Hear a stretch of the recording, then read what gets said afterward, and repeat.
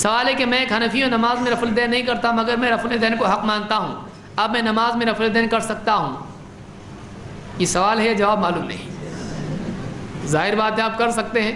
न सिर्फ़ कर सकते हैं प्रैक्टिकली, बल्कि आपको करना चाहिए थियोरेटिकली भी।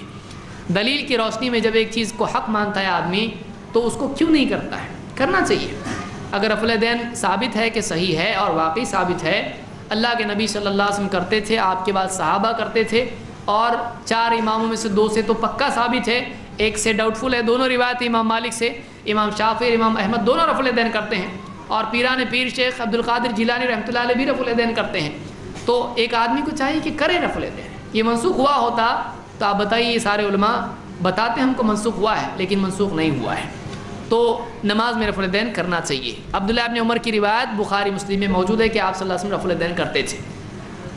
नमाज़ में इब्तदा में, रुकू से पहले, रुकू के बाद और तैयार से उठकर। और कभी कभी सद्दों के बीच में भी।